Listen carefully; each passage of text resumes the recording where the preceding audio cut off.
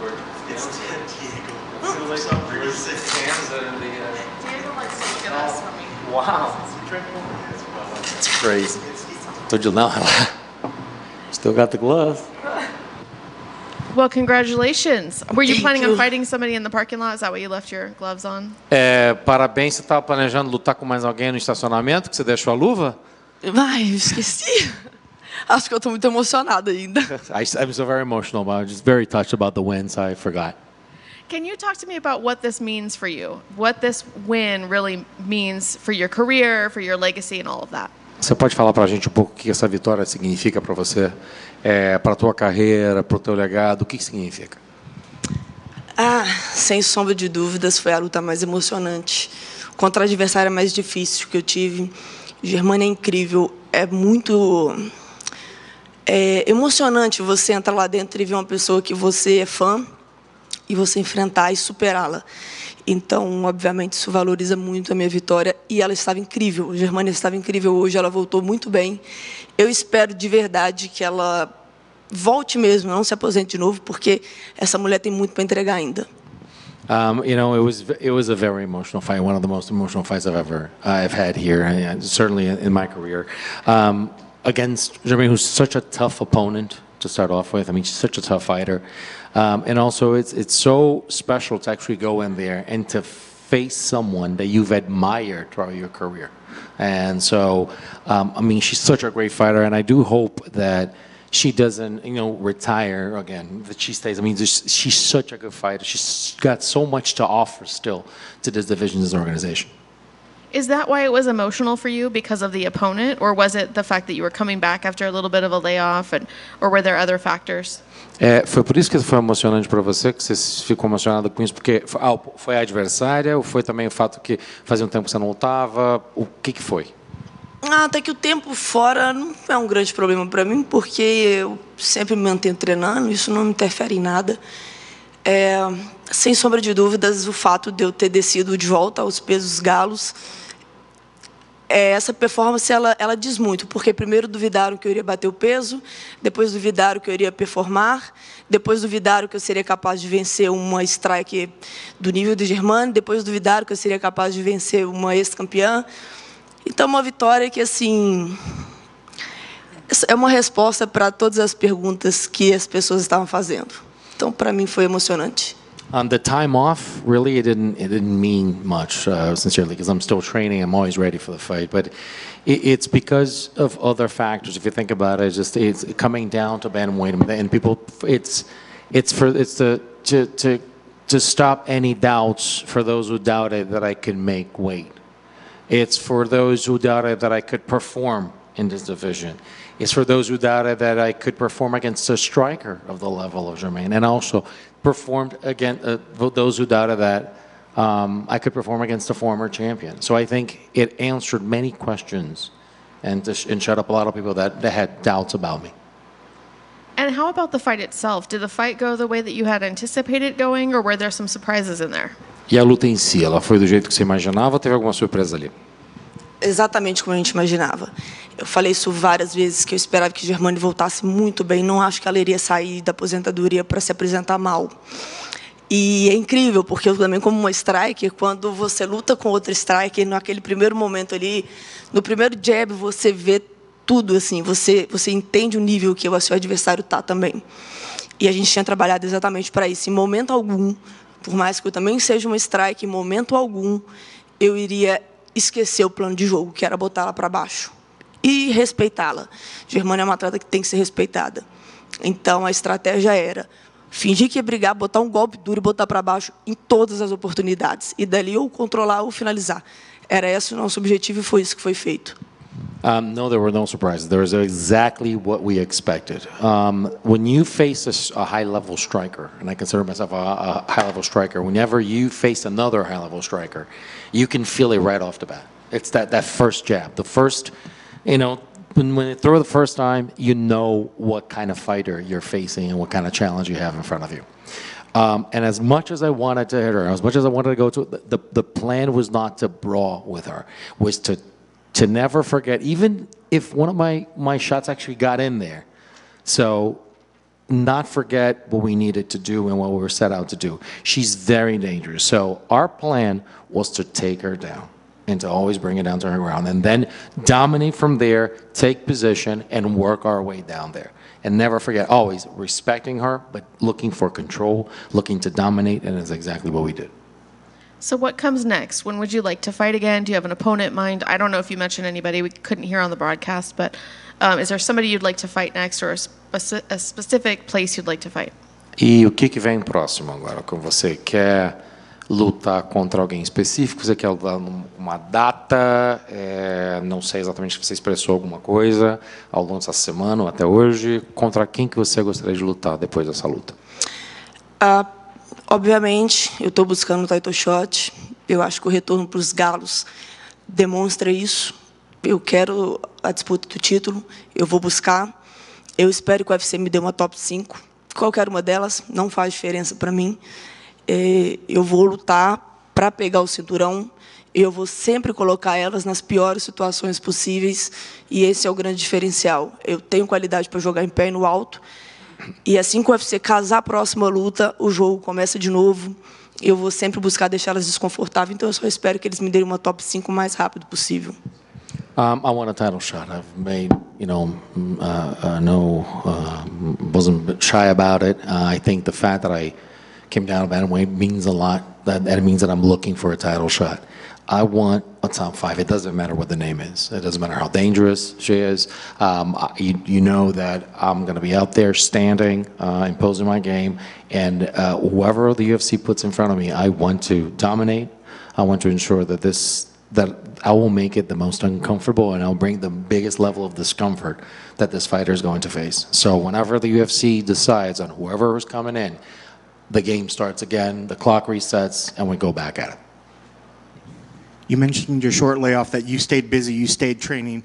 You gave a lot of present, uh, a lot of uh, praise to Jermaine and how she performed out there, but she also was away from the game for, for quite some time. Do you feel like that time away did affect her performance out there a bit tonight? Você falou sobre o, o fato de que o tempo, o teu tempo fora não, não, não, não impactou muito, porque você continuou trabalhando o tempo todo, e você é, foi muito, é, é, você elogiou bastante a performance dela depois de um tempo fora que ela voltou um, bom nível de performance. Você acha que o tempo que o tempo provavelmente que ela ficou fora impactou e que ela não voltou 100%, ou seja, que ela que impactou alguma coisa nisso? Cara, eu até achei que iria impactar mais, mas no primeiro minuto, no primeiro jab que eu dei, eu vi que ela estava prestando atenção, ela estava atenta, ela estava no jogo. Eu, falei, ela voltou no muito bem. Ela voltou no mesmo jogo que ela lutou contra a Amanda na última luta, no mesmo jogo que ela voltou contra a, a Juliana. Mas, obviamente, ela não é boba, ela também respeitou, porque ela sabe que eu não tenho a mão que a Juliana tem, que é medíocre. Então, ela também respeitou o golpe que vinha de encontro. Mas eu fiquei muito feliz porque ela estava bem. E é isso que fez a luta ser mais dinâmica e mais difícil para mim. E é, eu não, não tem como eu medir o quão bom ou ruim ela estava, né? Mas das últimas lutas que eu vi dela, ela me parecia muito bem. Um, you know, it, it does not seem like it, it we would expect it to be more, but I don't think it was. You know, right from right out from the get go, as, soon, as soon as the fight started, I, I noticed how attentive she was, how, how much how much on in, in the game she was, and paying attention and, and very quick to things. So I figured, I mean, she's she's on top of the game. Um, I I mean, she came back with the same level um, that I think uh, was was there when she fought Amanda and when she fought, you know, even against Juliana, and she was facing a striker that had that has a very hard hand, not you know, not the one that Juliana has, which is mediocre. Um, so I figured, I mean, when she came back, I noticed the, the, the quality that she has, and um, I don't think it, it, it really impacted her much because she was she seemed to be on top of her game. That's the quality of fighter that was there before. And you could definitely tell you had a lot of respect for her. Is there any moments in the fight when it starts where obviously this is something that you've watched fight a lot of times, but now you're actually getting to see her come towards you and throw these strikes that you've got to see? How long does it take you to get over uh, the moment of admiring, like, oh wow, she is fast, to actually focus on the fight and to establish your own game plan? Você foi muito respeitosa em relação a ela e mostrou toda a tua admiração por ela e não deixa de fazer isso. É, então, a pergunta é: quanto tempo demora para você, ou se tem algum tempo para você sair desse momento de admiração, que é essa pessoa que você sempre acompanhou na carreira, e de repente ela está na tua frente, ou seja, vem um golpe na tua direção, alguma coisa acontece e você tem que entrar na luta e o momento mudou. Agora não é mais uma pessoa que você admira, é, continua sendo, mas agora é uma adversária. Como é que é isso? Cara, eu acho que isso foi a maior dificuldade nessa luta.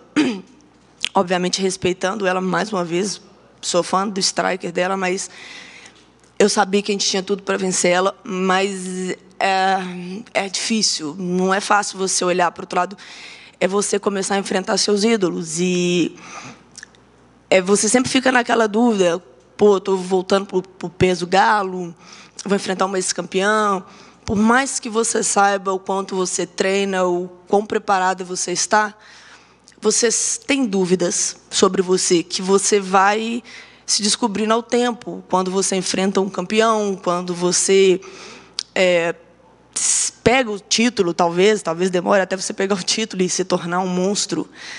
É, então é isso. Eu acho que demorou um tempo para eu olhar, eu, principalmente no terceiro round, que quando eu perdi o segundo, eu sentei, eu falei, cara, ela me deu um chute na cara, eu não senti nada. Por que, que eu não tô engolindo ela? E aí quando eu voltei no corner, meu meu marido falou assim, olha você não vai deixar essa mulher te vencer. Esquece que é Germane. Entra para dentro dela. E eu falei, é, é isso que eu vou fazer. E eu entrei no terceiro round e falei, eu vou dar ela um murrão, eu vou botar para baixo. Acabou a luta. E foi isso que eu fiz. Então, eu, eu te respondendo, talvez dois rounds demoraria. Uh, that was the hardest part of the fight, really. I mean, the, because it's it's someone that that's kind of larger than life, and they they they admire. So it's someone that's to be respected because of what she does. So um, I, also there's a there's a lot of doubt in yourself when you're going through this. Like every fight that you do, every new challenge, every new step of the way, it helps to um, answer questions about yourself. So you know, am I capable of doing this? Am I am I am I up to the challenge? So. Um, you start seeing things during the fight that, that you start you start answering, and that's when things start to uh, makes sense, and you start to, to, to uh, as you said, forgetting that. Well, when I went back to my corner after the second round, and my husband was telling me, like, listen, what, what are you feeling right now? You, go, you, they felt like there was a possibility that the second round was lost. Like, well, I kind of looked at myself and said, listen, she kicked me right in the head there, up high, and I didn't feel anything. It's like, why am I not just, just eating her up? Like, why am I not just swallowing this girl? Like, why is it not happening? Um, and at that point, I was like, well, this is when we're going to try to impose your game. Um, so to answer your question, about two rounds. That's what it took. And last, it looked like you guys had a nice moment after the fight. Um, what, did you guys say to each other after the fight there? E por último, parece que vocês tiveram um momento muito legal entre as duas no final da luta. O que, que você conseguiu falar com ela? O que, que vocês trocaram de palavras? eu achei incrível, porque ela fala o português, então eu, eu, pelo menos um pouco, óbvio, não é a língua dela, mas ela entende um pouco, então eu fiquei muito feliz. E eu disse para ela, eu sempre fui sua fã, você é uma mulher incrível, eu sou muito sua fã e vou continuar sendo. Ela olhou, riu e falou, é, o momento é seu e parabéns. Então, assim, a gente já tinha se encontrado dentro do PIA, já tinha conversado no vestiário, e aí, velho, não tem como eu esconder. Eu não vou esconder que eu sou fã dela e que eu estou feliz, assim, como sou fã da Amanda, é, da Ron. É, são atletas que eu admiro muito. Obviamente, se tiver que enfrentar, nós vamos calçar as uvas e fazer o trabalho. Mas sempre vai existir um carinho muito grande pelas atletas que fizeram isso aqui acontecer. Um, it was so cool because actually she speaks a little bit of Portuguese. Obviously, not perfect. That's not her her language, but she understands it a bit. And I just went up to her and I said. Um, you know, I'm always going to be your fan. I continue to be your fan. I'm going to continue to be your fan, uh, no matter what. And she said, you know, this is your moment. So this is your moment and enjoy it right now. So just like Amanda, just like Holly Holm, like I, I'm never going to, if, if the job, if duty calls, I'll go out there, put those, put on those gloves and do my work. But I'm never going to forget the importance and never not have admiration for all the women that have trailblazers and, and, and that, that have done so much for the sport and have brought the sport to the level that I am right now. Just one from me, real quick. Your last three fights have all taken place here inside the Apex, and so has your majority of your career. Are you a fighter that feeds off the fan energy in a packed house, or does that not really affect you? And do you really want to go out to an arena show again? É, as últimas três lutas tuas foram aqui no Apex. Muita parte da tua carreira acabou acontecendo aqui no Apex. Você é uma pessoa que se alimenta da energia da galera? Você é uma pessoa que, que gostaria de lutar em umas arenas para ter aquele, aquele momento e ter aquela energia de todo mundo? Sim, eu acho que é o- talvez seja o start ali para o atleta, né? Você lutar na arena com a torcida toda gritando. É, mas tudo bem, eu entendo que o UFC, por enquanto, ainda está me testando ainda, principalmente no peso novo. Eu acredito que existe uma responsabilidade em um card numerado, que talvez eles não queriam correr o risco por enquanto, enquanto eu não batesse bem o peso. Cara, tá tudo bem. Se me botar na arena cheia, eu vou fazer um show. Se me botar fechada aqui, eu vou fazer um show. É só meu trabalho e é isso.